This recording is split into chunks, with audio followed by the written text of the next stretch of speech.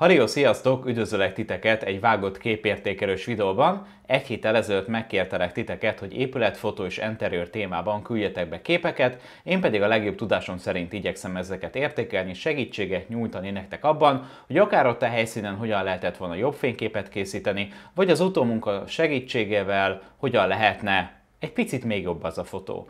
Ha szeretnétek az interiőr és épületfotózással közelebbről megismerkedni és tanulni róla, akkor május 27-én egy egész napos interiőr és épületfotózás kurzusra tudtok csatlakozni. Ez egy 11 órás, maximum 8 fő tud jelentkezni rá, és ezt a modern vendégházat fogjuk fotózni. Itt nem csak belső, de külső fotókat is fogunk készíteni, aranyórában, kékórában, a verőfényes napsütésben is. Lesz egy 3 órás külön képkidolgozási szekció, ahol a résztvevők képeit is fogjuk értékelni, de bővebb leírás és információt a leírásban találtok május 27-én, ha érdekel titeket az enterül és épületfotózás, akkor csatlakozzatok. Most pedig nézzük meg akkor a legelső beküldőnek a fotóit, aki Baukó Viktor. Na most az ilyen jellegű belső terek számomra is kívást okoznak, ahol nincs egy fehér falfelület, onnan tudnék villantani, ráadásul ugye a fának a barna színe miatt az összes tárgy is valamennyire elszíneződik, ugye felveszi ugye ezt a barnás szint, én azt szoktam ilyenkor csinálni, hogy nem engedem meg az adott képen, hogy a fehér egyensúly keveredjen. Mit jelent ez? Kintről ugye fehér fények áramlanak be, ami mondjuk nagyjából 5-6 ezer Kelvin. Bent viszont a fények fel vannak kapcsolva, ami 3-3200 Kelvin körülbelül. És ha félreegyensúly keveredés van, akkor utólag ezeken a részeken ez lehetetlen, hogy valamennyire is szűrésre kerüljön. Látom, hogy Viktor valamennyire próbálkozott vele, de ha belezoomolok, akkor itt látható, hogy konkrétan egy lilás elszíneződés is van, és itt azért ez kékes, bár biztos vagyok benne, hogy ez vissza van egyébként szaturálva, de itt is kicsit lilás, kicsit kékes elszíneződés lesz, ami nekem annyira ebbe az esetben például nem tetszik, de ezt úgy, meg, úgy lehet orvosolni, hogy ebbe az esetben azt javaslom nektek, hogy kapcsoljátok le a lámpákat, ha ilyen fejregyős keveredés van, és inkább úgy fotózatok, ha csak nem nagyon fontos, hogy fel legyen kapcsolva a lámpa, mondjuk ha egy, nem tudom, egy lámpagyártó cégnek fotóztok. Például ott azért legyen fölkapcsolva a lámpa, akkor én úgy szoktam csinálni, bár tudom, hogy Pepecs, hogy készítek alapexpókkal, tehát mint ugye HDR, ha mondjuk nem fényfestek, hogy bár ez kicsit már szitok szó, akkor kéne valami más, bracketing talán, talán ez egy jobb, jobb szó lesz rá, hogy készítek lekapcsolt és felkapcsolt lámpákkal is képeket, és utólag döntöm el, hogy melyiket használjon. Vagy még maszkolgatni is tudom egyébként őket, de inkább azt javaslom, hogyha nem vagytok benne biztosak, hogy fel vagy le legyen kapcsolva a belső lámpák, akkor inkább legyen lekapcsolva. Nemrég, két évvel ezelőtt fotóztam egy luxus faházat, amiről külön egy videó is készült, ide kattintva föntre meg is tudjátok tekinteni, ahol ennél is sötétebb volt a belső burkolat, és még nekem is, nekem is kihívásokat okozott, de nézzétek meg a videót, ha érdekel, hogy hogyan fotóztam. A következő képnél viszont már fehérek a falak, és itt látom, hogy volt már vaku is használva, ez egy fényfestett fotó, Viszont itt már nem annyira probléma, hogy a lámpák fel vannak kapcsolva, mivel van annyi beáramló fény, hogy túl, dominálja, túl dominálja, vagy éppen a vakufényen lett ez túl dominálva, és ugye ezeknek a lámpáknak a fénye itt lent már nem jelenik meg. Tehát is látszik, hogy, hogy itt már természetes fény, már nincs fehér, egyens, fehér egyensúly keveredés, csak itt, és az annyira nem zavaró, bár ez egy kicsit túl exponált, ez még szerintem így okés, viszont az interiőr, főleg ilyen belső terek fotózásánál az az egyik legnehezebb, amikor mögülünk jön a fény, mert ugye az árnyékok ebben az esetben erre vetülnek, tehát pont nem látunk rá, és kicsit egy a háromdimenziós tere elvész a fotónak. Én úgy szoktam ezt megoldani, hogy kicsit ráerősítek egy picit oldalról, tehát az árnyékok mondjuk erre vetüljenek, tehát kicsit rálássak ezekre az árnyékokra, és úgy jobban megjön kicsit a térhatása a fényképeknek. Itt a következő kép, ami nekem viszont egy kicsit flashy hatású, látom jól, hogy itt vakúza van, viszont amikor vakút használtok belső interior fotózásnál, persze mindenkinek, hogy az ízléséhez mi áll közelebb, hogy egy vakús, természetes fényes, vagy hogy mely, mennyire legyen hogy is mondjam, a természetes fényekhez közel, vagy a vakus fényekhez közel, az mindenki el tudja dönteni maga, ami neki jobban tetszik. Viszont én azt mindig úgy szoktam csinálni, hogy a természetes fények irányából villantok. Mutatom nektek, hogy miért szerencsére Viktor teljes felbontásba küldte be a fotókat, hogy itt van egy erre vetülő árnyék. Itt, látjátok? Viszont erre nem vetülhet árnyék, mert ugye innen jön a természetes fény, innen és innen. Tehát az árnyék az erre vetülhet, ha összekötöm a széknek a lábát és a természetes fény beáramlását, ugye az ablakot, akkor erre vetülhet, és erre vetülhet, erre nem vetülhet, és ez nyilván egy orda, oldalról érkező vakufény. Viszont én ezt ebben az esetben mindig ugye innen szoktam világítani az ablak felől, hogy az árnyékoknak a vonala az maradjon meg, ugye az, hogy innen erre fele vetüljön. Az, hogy ez a fotó nektek mennyire flashy hatású, mennyire vakus, igen az, ez lehet, hogy valakinek tetszik, valakinek nem tetszik, nekem is régebben például olyan volt a stílusom, hogy nagyon sokat vakusztam, most már megpróbálom megoldani minél kevesebb, és kicsit a természetesebb hatású fotók felé orientálódni. Szerintem egyébként az a az én ízlésem szerint. Az a jó interior fotó, ahol mondjuk fényfestő van, viszont nem tudjuk, hogy fényfestő van. Tehát a laikus nem fog rájönni, hogy mm, valamit nem oké, ennek a fotónak nincs igazából természetes hatása, már csak ugye az árnyékokból, ugye ebből az árnyékból is itt a konvektornak is van egy erre vetülő árnyéka, másrészt ugye itt is van egy árnyék, ugye ami a függönyről érkező, erről is van egy nagyon-nagyon kemény árnyék, és itt nagyon világos ez a falfelület, miközben ha erről jön a természetes fény, hogy ezeknek a falfelületeknek sötétebbnek kéne lennie. Persze, ha valaki azt mondja neki, ez tetszik, megrendőnek tetszik, és sok a foglalás, akkor persze meg kit érdekel. És említettem, hogy úgy szoktam megoldani, hogyha nem tudom, hogy mondjuk lekapcsolt vagy felkapcsolt állapotban szeretném a fényképet visszalátni majd a végleges verzióban, hogy készítek lekapcsoltal és felkapcsoltal is. Itt pontosan ugyanez kellett volna a LED-del is, mert ez a zöldes LED, ami nem, hogy jól néz ki, de viszont mivel fel volt kapcsolva, és Viktor úgy fotózta, ezért ez a zöldes szín a bútorokon, és itt lent is megjelenik, és egy jó zöldes elszíneződést okoz, mint a szőnyegen, mind a bútorokon, mint pedig mindenhol. Tehát, hogyha lekapcsolja fotós ezt a ledet, a zöldet, lefotózza lekapcsolt fényekkel, utána pedig a ledet fölkapcsolja, és simán csak átmaszkolja Photoshopban, akkor itt nem lesz zöld elszíneződés, és így ki van ez védve. Következő beküldő Bodnár Marianna, itt van 5 darab épületfotó, mutatom közben nektek őket. Egyértelműen nekem ezt tetszik a legjobban. Egy kicsit talán bal hangsúlyos a fotó, tehát itt mondjuk egy ilyen, hm, nem is tudom, mondjuk egy ilyen 30-40 százaléknyi teret, vagy akár a felét, azt átraknám a másik oldalra. És akkor teljes szimmetriában lenne a fotó, bár így is tetszik. Viszont ami ennek a képsorozatnak a lényege, és a legfontosabb része, az az, hogy szerintem sokkal jobb, hogy egy épületet konkrétan direkten megsüt a nap, mert sokkal jobban kiemeli a színeit, textúráját és mélységet ad neki. Ez főleg akkor látható, ha visszaugrok erre a képre, ez árnyékban van, ez pedig megsüti a nap. Sokkal jobban kijönnek a színek, a textúrák és a mélységek. Bár nem rossz a kompozíció, tehát tetszik alapvetően a kép, de ha mondjuk elmegyünk a végére, és ezeket a fotókat megnézzük, akkor itt látszik, hogy ezt a részt megint éri a nap, ezt pedig nem éri a nap, árnyékban van, és itt is. Tehát kicsit elmegy a fehér egyensúly kékbe, tehát ez itt teljesen elment kékbe az árnyékos rész, és ugye erről süt a nap bal oldalról, de ugye ezt a felületet sem éri a nap, tehát ez akkor lett volna érdemes fotózni, ha mondjuk így jobb oldalról innen érkezne a nap, és akkor szépen kiemelni a színet, a textúrát és mélységet adna neki, ezért érdemes egyébként egy terepszemlére kimenni az adott épület fotózás előtt, hogy tudja, én is mindig ki menni, hogy tudjam, hogy mikor, merről süt a nap, és mikor érdemes fotózni a külső képeket. És ha megnézzük, összehasonlítjuk, ugye ezzel a képpel ez a fotó él, színek, mélység oldalról ugye innen megsüti az épületet a nap, vannak szép árnyékok, tehát ez egy, ez egy nagyon jó időpontban elkapott fotó. Boldog Bence három fotója következik. Nekem ez nagyon tetszik, ez személyes kedvencem lett, de akkor beszéljünk először erről a fotóról.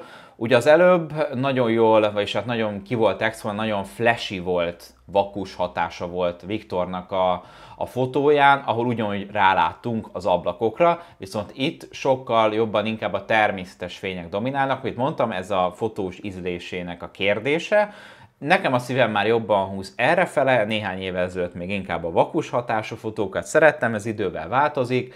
Nekem ez bejön. Jó a kompozíció, jó a téma, nem tudok igazából belekötni. Jó a fehér egyensúly, nem égnek lámpák, egy fehér egyensúly dominál, ami egy fehéres, azt szépen vissza lehet húzni, vagy lehet tolni bármerre. Nem nagyon tudok építőjelegű kritikát erről a fotóról mondani.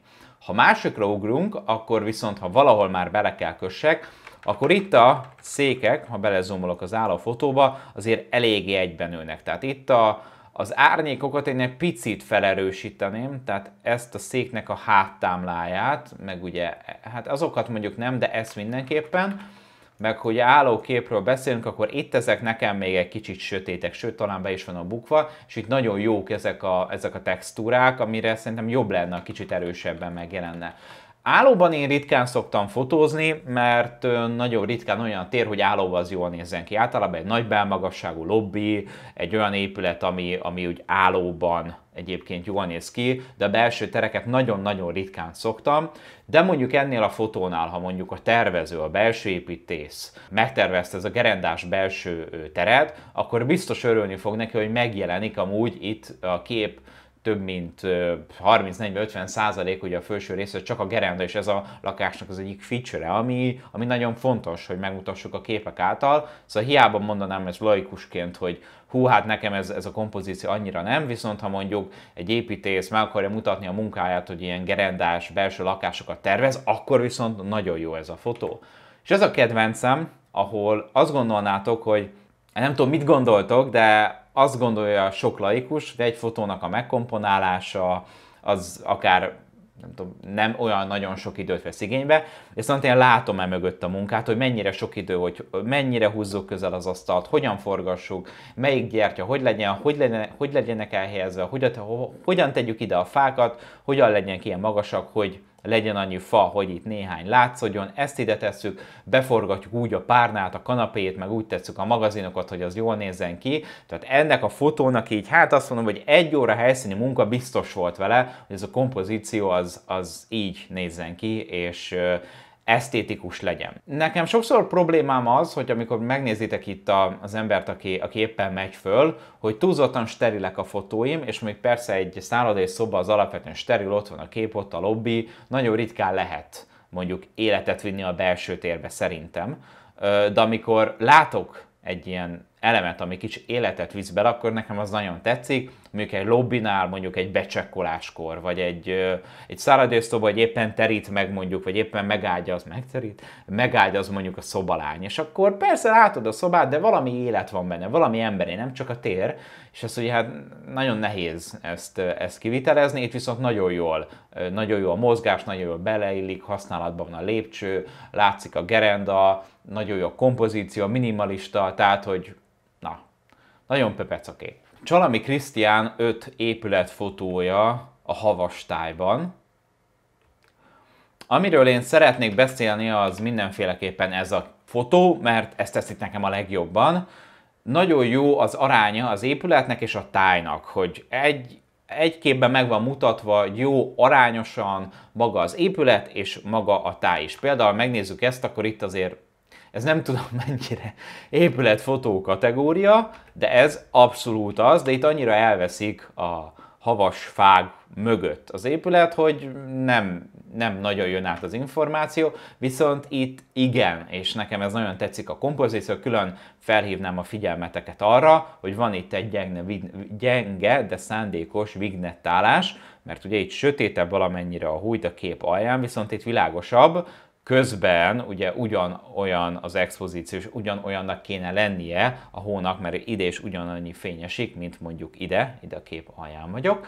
Viszont itt egy vignek tálással szépen be lehet terelni a nézőnek a szemét középre, és szerintem lehet még a tetején is egyébként van. Úgyhogy vignek tálás az nem feltétlenül hiba, hogyha arra használjátok, hogy a nézőnek a, a szemét tereljétek a témára, ugye ebben az esetben az épületre. Többi fotón is egyébként itt az alján mindenhol ez ez észrevehető, és ez kimondottan szándékos. Csurgai Gábornak a fotói, én kettőt emelnék ki, ezt a kettőt, nagyon jó a vonalvezetés, a fekete-fehér konverzió, jók az árnyékok, kontraszt, van mély fekete, van erős csúcsfény a fehérben, a biciklik nem megtörik a teret, hanem sokkal inkább úgy érzem, hogy hozzáadnak a fotóhoz, mint sem elvesznek. Nélküle lehet egy picit egyébként üres lenne, úgyhogy csak megmutatom nektek ezt a fotót, sok mindent nem tudok egyébként hozzátenni, megmutatja, ha Budapesten készült van, szóval Budapesten, akkor a, a rustikusságát hívjuk így a nem felújított oszlopokat. Na viszont ez a fotó, ha van egy kis időtök, akkor, akkor nézzétek kicsit tovább, hogy hány tér van az adott képen. Ugye geometriai, egy absztrakt kép, egy tájképnél, ha van egy előtér, középtér, háttér, akkor segíti az emberi szemelet eligazodni az arányok között. És ebben az esetben, hogy nézzétek meg egy tér, ahol van most az egerem, itt, itt, itt, egy tér, két tér, ez a lift, ami éppen felmegy három tér, itt van egy negyedik tér is, itt az ötödik tér fönt, a hatodik az égbolt, hetedik az épület. Tehát hány geometriai térből épül fel az adott ö, fotó. És nekem miatt ez nagyon-nagyon bejön, jó, megint a fekete-fér konverzió, és nagyon érdekes ez a, ez a térjáték, hogy hány darabból épül, épül fel. Dr. Tarsoly Ádám képei következnek. Nagyon elhúznám ezt a videót, összes beküldött fotóról ö, beszélnék, de azért igyekszem mindenkinél egy átfogó tudást és képet átadni, és inkább felhívni azokra a visszatérő hibákra a figyelmet, amit szerintem érdemes elkerülni. És itt az utolsó három fotóra térnék ki, mert ez szerintem szuper, kicsit nekem hideg, tehát hogy kicsit szerintem a fejre egyensúlyt az be lehetne egyébként tolni sárgába, de egyébként a fények azok okésak rajta, itt is szerintem ez teljesen rendben van. Viszont itt látom, hogy vannak nagyon furcsa tükröződések, például ez, ez biztos, hogy vaku tükröződése itt, és itt is megvannak valahogy világítva, úgyhogy megnézem itt az árnyékoknak a vetülését, akkor, akkor nagyon-nagyon furcsa, hogy főleg a zuhanyfüggöny, ez ilyen foltos lett. És én uh, inkább, inkább egyet-kettőt szoktam itt villantani, egyet jobbról, a kép bal oldalára, egyet balról, a kép jobb oldalára, és a kettőt összemaszkolom, és nem szarakodok vele, azért, mert ö, annyira szűk a, a tér, annyira sok minden tükröződik, hogy egyszerűen majdnem, hogy közel lehetetlen egyébként ö, szép természetesen megcsinálni, és itt is látom, hogy ez a, ez a foltos zuhanyfüggő nagyon ilyen cégés hatása van, és ha tovább nézek, akkor látom Ádámnak az egyik szerintem visszatérő hibája, hogy olyan irányból világít, ahol alapvetően nem kéne lennie árnyéknak. Nézzétek meg, vele zoomolok, ugye itt a széket. Tehát ez innen direktben meg van világítva, és itt van az árnyéka magának a széknek. És ugye ez nagyon természetes ellenes hatása van. Ugye mindig azt javaslom, hogy a természetes, mondom ez az én stílusom, a természetes fények irányára érdemes ráerősíteni, tehát ideálni, innen jön a természetes fény, az emberi szemnek az okés lesz, hogyha ha innen jön, akkor erre fognak vetülni az árnyékok, tehát ideálnék, és innen villantanék ebből az irányból, tehát hogy minden fény innen jön, a vakufény is, és minden árnyék innen erre fele fog vetülni, és megmarad a képnek a természetes iránya és hatása. És itt is ugyanez, hogy szerintem kicsit túlzottan erősen direktben vannak megvilágítva, az én stílusomnak, ezt párszor már elmondtam, itt a tárgyak. Tehát én itt plafonról világ, villantok egyet-kettőt, és, és az fényfestős lesz a kép, nem fogják feltétlenül tudni meg, megmondani, hogy, hogy van vakó a képen, mert megvannak a természetes fény nyel azonos vaku irányok. Horváth Ági néhány fotója, amiről szeretnék beszélni, az az utolsó három. Tudom, hogy a tilt objektív az egy nagyon-nagyon drága mulatság, tisztában vagyok vele, és nem is feltétlenül muszáj mindenkinek beneveznie rá, viszont ilyen témáknál az, hogy a, a vonalak azok párhuzamosak egymással, az teljesen eszenciális, és szimmetrikus témákat érdemes szimmetrikusan is fotózni, mert látom, hogy itt Ági nem volt teljesen középen, egy kicsit balra, persze itt utólag nagyon okos vagyok, hogy hogyan kellett volna fotózni, lehetséges, hogy az adott helyszín az nem adta meg azt a lehetőséget, hogy olyan kompozícióból legyen fotózva. De itt látom, hogy nincs teljesen középen szimmetria tengelye az alsó résznek, viszont ha megnézzük a csillárokat, ott viszont van szimmetria tengelye. Tehát én is találkoztam már olyan témával, hogy attól függ, hogy milyen tárgyat nézek az adott belső térben, más lesz a szimmetria tengely, viszont a vonalak azok így párhuzamosok egymással, és ez így szuper. Az alsó résznek a aszimetriája, ami engem picit zavar, de ha picit balra lépett volna Ági, akkor pedig lehetséges, hogy a csillár nem lett volna szimmetriában, és akkor pedig az zavart volna, úgyhogy ez csak az én kötekedésem, itt viszont már nem párhuzamosak egymással a vonalak. Kicsit úgy érzem, hogy a, templom az egy picit így hátradől, tehát hátrafele, és nincsenek vonalak párhuzamban, tehát érdemes még kicsit utólag amúgy perspektíva korrekcióval ki lehet húzni, és itt is szintén ugyanez van, hogy itt is úgy érzem, és jól is érzem, hogy kicsit mint a hátra dőlne az épület. Ezt érdemes amúgy utólag perspektíva korrekcióval kihúzni, mert itt van még tér is, meg a pixel is rá. Kevevári Zoltánnak a képei következnek. Szerintem ez túlzottan flashy lett, és a természetes fények ellen lett világítva. Tehát, hogyha látom, hogy erre vetül, tehát ennek az oszlopnak az árnyéka erre vetül, akkor a kamerához képest egy picit jobbról érkezett a vakó, közben itt van a természetes fénynek az iránya, és innen kellene érkezni az árnyékoknak. És ha innen megvilágítjuk, akkor mindennek erre kéne vetülni az árnyékának, ehelyett a széknek erre van az árnyéka, itt alatta, ennek is erre van, és ő balról jobbra nem vetül árnyék. Úgyhogy ilyenkor érdemes a vakuvillantási irányt, az a természetes fények irányából, amit, ahogy már mondtam. Ez kicsit nekem sötét lett, és megint kicsit ilyen vakus hatású, nincs rajta sok természetes fény, és nekem ez nagyon sötét bebukott. Tehát az egész képnek kicsit sötét a hangulata, tudom jó, hogy fekete a, a ágy színe, de mégis egy kis shadow ide mindenféleképpen egy kis árnyékot még érdemes varázsolni. Tudom, hogy ez, ez problémás csúcsfények szempontjából, úgyhogy ebbe nem kötök bele. Itt meg látok egy kis vaku hotspotot, hogy arra fele ott fönt vetül egy kis árnyék.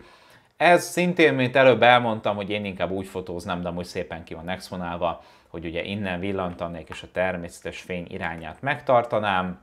Tudom, hogy amit már mondtam előbb, ugye a felkapcsolt meg a lekapcsolt fények problémája, úgyhogy itt ugyanez van, és itt is én biztos vagyok benne, hogy lekapcsoltam volna a lámpákat, amúgy a kompozíció tök jó, meg tetszik, de én ilyenkor azt mondom, hogy érdemes lekapcsolni. Viszont azt látom, hogy ez a vonal itt, ez nem párhuzamos a képnek a szélével, tehát ez itt erre lejt. Tehát ide raknék egy labdát, akkor az itt legurulna. És ez csak annyi, hogy a képnek, tehát a fényképezőgépnek, a kamerának, a képsíkjának párhuzamosnak kell lennie azzal a fallal, amivel szemben állunk. Mert itt látom, hogy csak egy nagyon pici különbség van, a tiltsit ezért jó, mert lehet oldalra, föl, le, sejhen, bármerre ugye a képsíkot eltolni, viszont ebben az esetben ugye picit rá kell fordítani jobban a kamerát, hogy párhuzamos legyen a fal felülettel. Körösi Tamás legelső fotója, nagyon tetszik, nagyon jók a színek, nagyon jók a kontrasztok, szuper a kép, nagyon nehéz egyébként beállítani úgy egy ilyen felfele irányuló fotót, hogy a vonalak azok párhuzamosak legyenek egymással,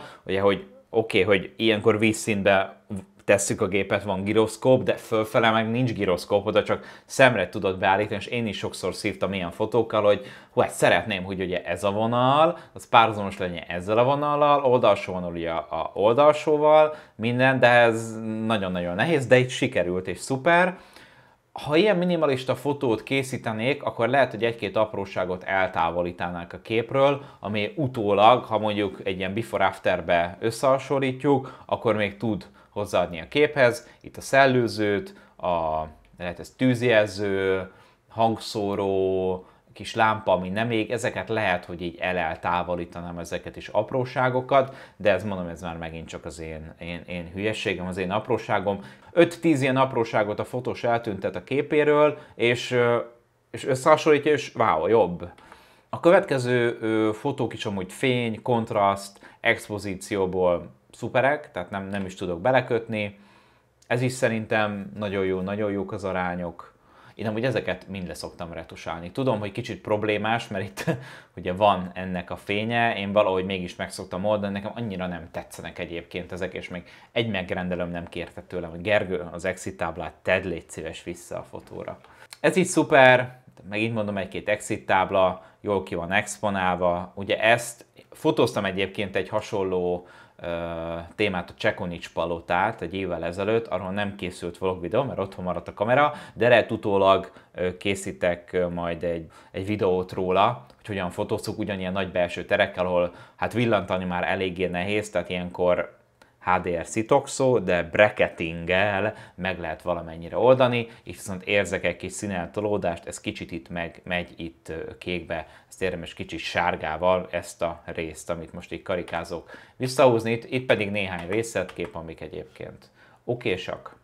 Német Krisztiánnak egy fotóját választottam még ki, hogy egy dologra felhívjam a figyelmeteket, hogy a színek nagyon sokszor elvonják a figyelmet a fő témáról. Ugye a szálloda nekünk itt a fő téma, viszont az előtér és a kompozíció egyébként egy-két apróságtól eltekintve egyébként rendben van, elvonja a figyelmemet. Tehát én ilyenkor ezeket a zöldeket, vagy éppen sárgákat, pirosokat, ha nagyon elvonja a figyelmemet a témáról, akkor kicsit visszaszoktam szaturálni, tehát deszaturálom. Nem sokat, egy ilyen 10-15 értéket, de annyi pont elég, hogy inkább a témát lássam meg.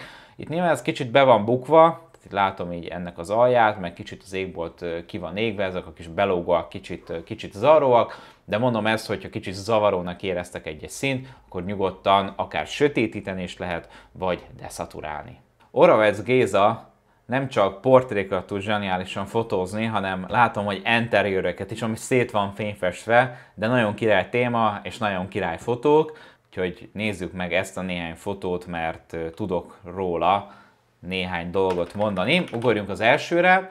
Szuper, nagyon-nagyon jó. Mint mondtam az előző képen is, ezeket az apróságokat, mint ugye itt, ezeket én, azt hiszem ez egy Covid tájékoztató lesz talán, ez pedig egy dohányozni tilos, meg a tűzoltókészüléknek itt a helye, ezeket én mind-mind-mind mind leretusálnám, és ezeket viszonylag könnyen le, le lehet.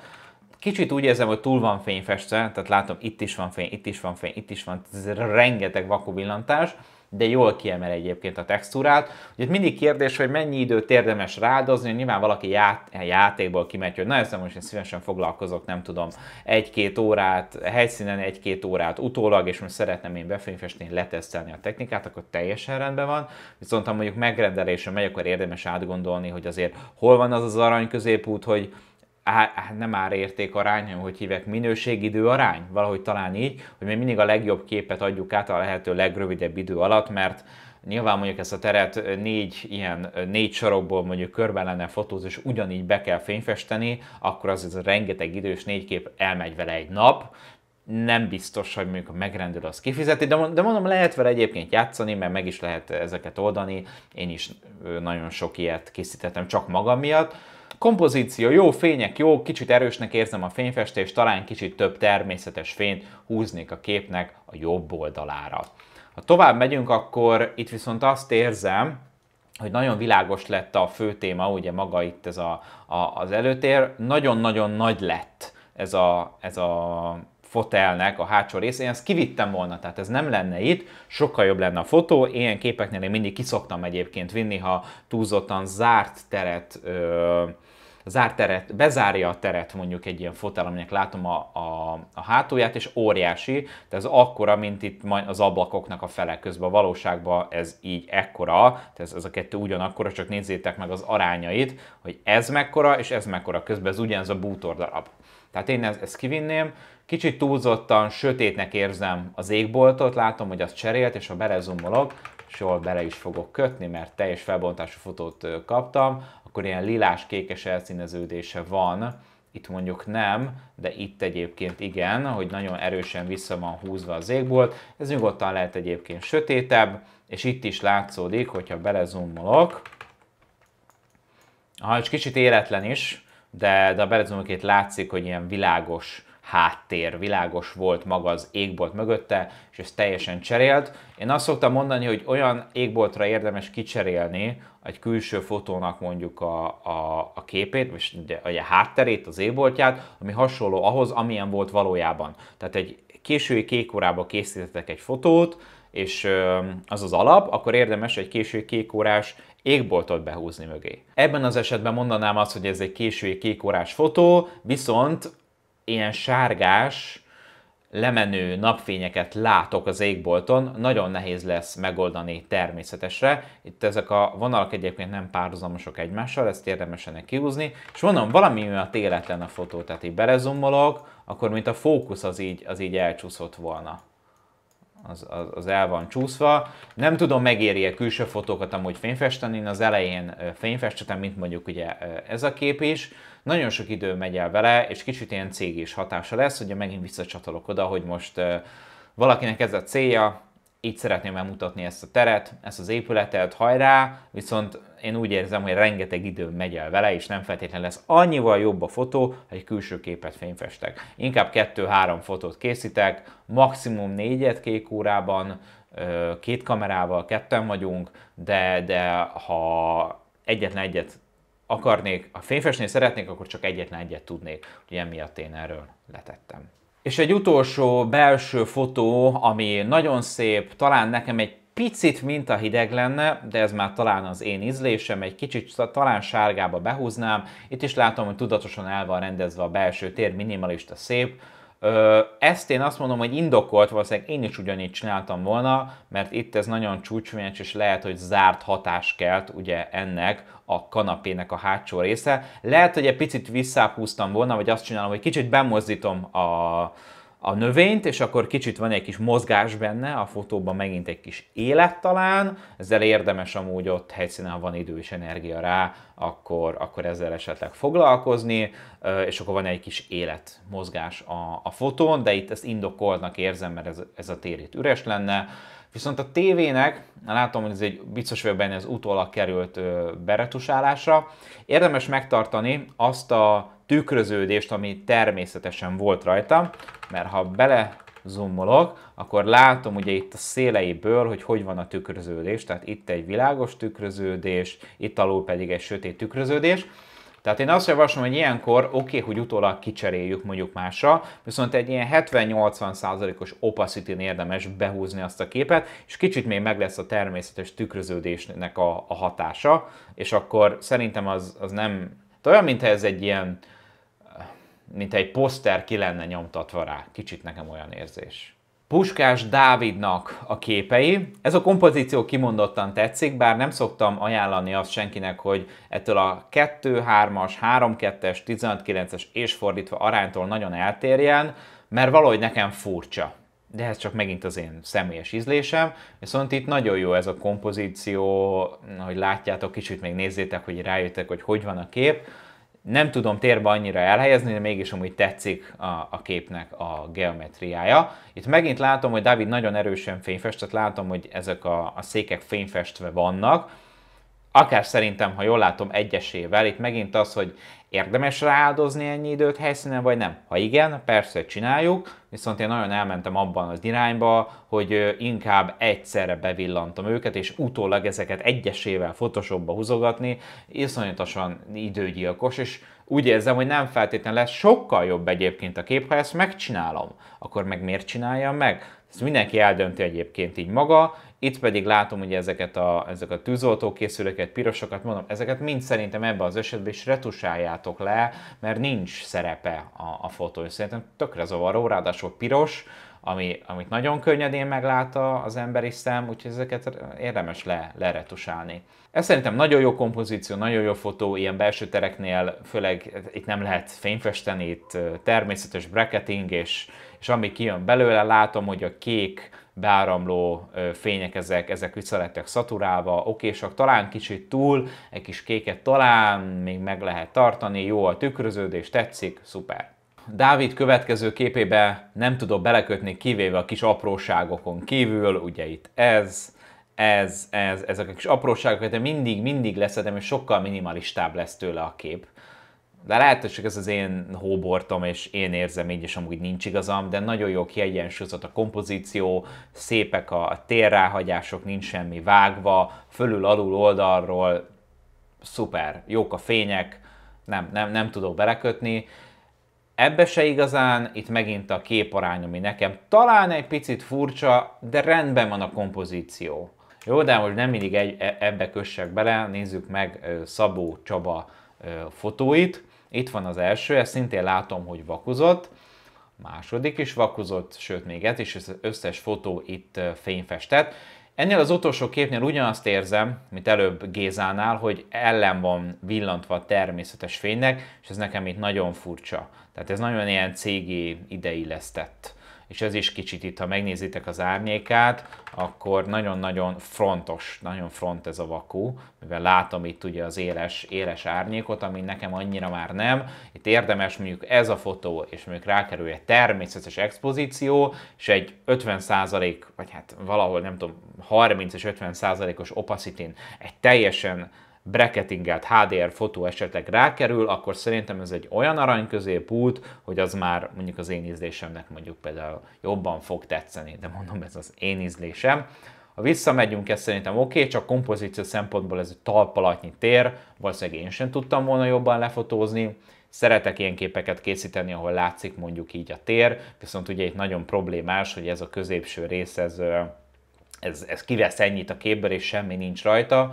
Sokszor emiatt el szoktam inkább engedni, mert itt ugye az előszoba valószínűleg nagyon pici volt, és nem tudott Csaba hátrébb menni, ahhoz, hogy ez minél kisebbre és jobban be lehessen látni a nappaliba és a fürdőszobába, viszont szépen be vannak amúgy, amúgy villantva, tehát az kimondottan tetszik. Itt viszont szerintem ez egy kicsit túlzottan világos lett, ha bár nem annyira, de úgy érzem, hogy az előtérnek kéne kapnia mondjuk egy fél expót, egy fél expó minuszt pedig a tető részre, mert tető részre, a kép felső részére, mert úgy érzem, hogy valószínűleg mondjuk ha ugye villantva volt a kamera mögül, akkor ugye ez miatt lesz egy kicsit világos, mert a fény az exponenciálisan csökkent, tehát az alsó részre kevesebb vakú fény, hát kevesebb fény fog már megjelenni, úgyhogy emiatt a felső rész az, az nekem kicsit, kicsit világos.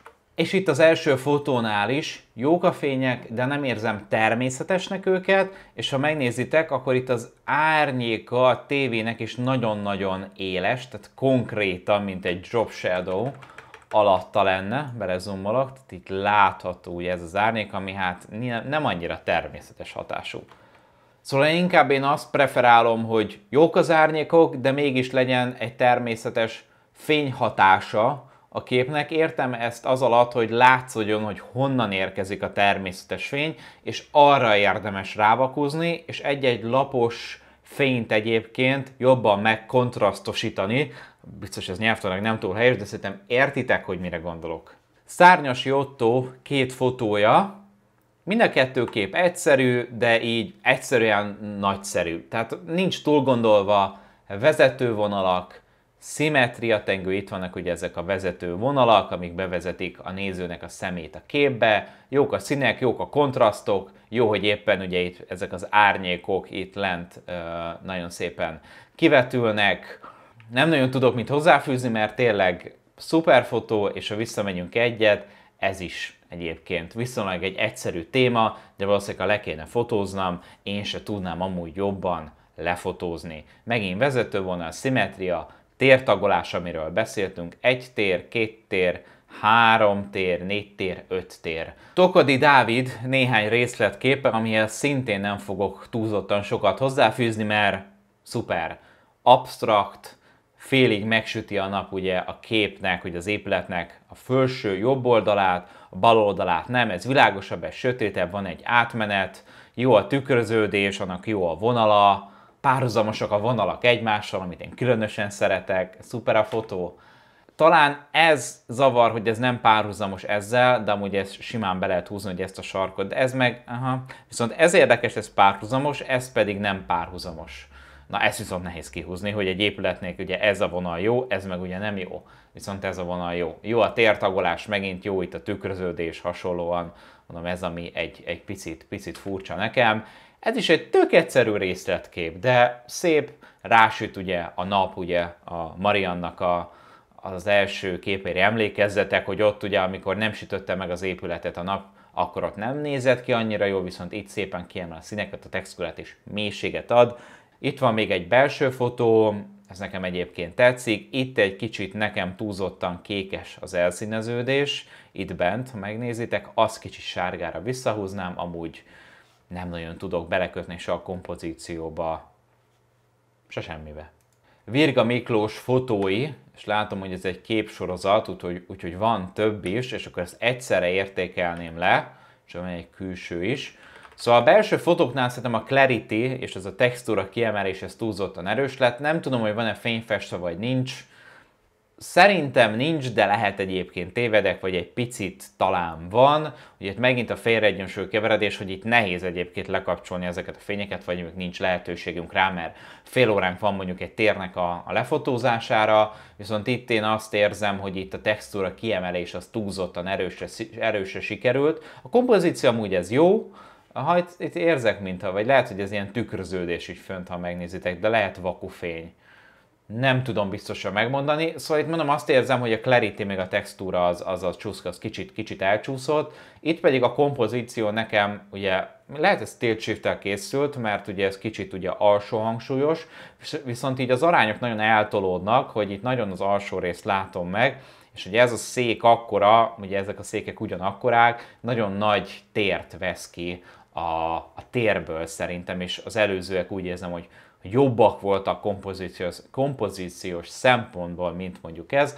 Lehet utólag lett egyébként kihúzva itt a, itt, itt a vonalak, hogy ezek a párhuzamosok legyenek nagyjából egymással, nem, nem tökéletesek, talán de itt nem is találok van szóval tökéletesen párhuzamos vonalakat, mert itt egy téglának úgy így az oldalát tudom nézni, de mondom, egy kicsit ez úgy érzem, hogy túlzottan alul hangsúlyos, ez pedig sokkal jobb, tehát én ezt érzem a legjobb képnek, itt van egy kis kiégés, ezt mondjuk lehetne villantani, lehet esetleg utólag kihúzni, de, de tetszik, itt nem érzem annyira, hogy ez a clarity túl lett volna húzva. Ez egy kimondottan nehéz téma, ennyi tér, ennyi kilátásot látom ki ma négben, az ilyen témákat én direkt úgy szoktam videózítani, ha lehetőségem van rá, hogy naplemente előtt mondjuk egy-két órával fotóznom, mert a verőfényes napsütés van kint, kiexponálhatatlan ugye ez a rész, főleg a fényfestésre, és ez nagyon-nagyon macera lenne megoldani, nem megoldhatatlan, csak egy óra.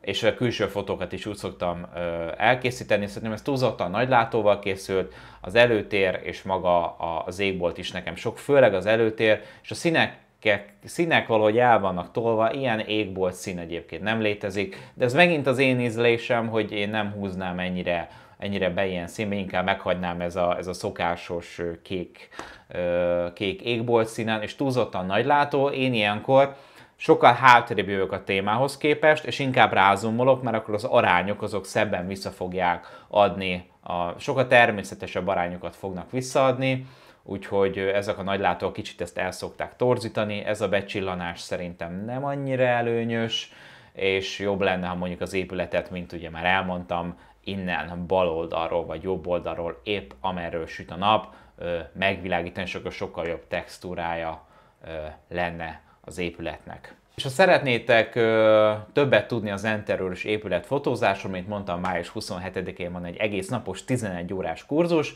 8 fő tud összesen jelentkezni rá, és március 31-ig egyébként kedvezményes áron Early Bird jegyek vannak, de általában ezek a jegyek 72 órán belül el is szoktak fogyni a workshopokra, úgyhogy ha érdekel titeket a fotózás, és szeretnétek egy kis csoportos foglalkozáson belül tanulni velem az Enterőrös épületfotózásról, akkor gyertek május 27-én, és a bővebb információt pedig a leírásba értek el. Én köszönöm szépen, hogy küldtetek be fotókat, lesz még tematikus képértékelés, érdemes követni Instagramon, Facebookon, az e-mailekre szerintem fel vagytok iratkozva, akkor ki szoktam tenni posztokat, hogy lesz esetleg egy tematikus képértékelés, ide töltsétek fel a fotókat. Köszönöm, hogy itt voltatok ebbe a részbe is velem, sziasztok!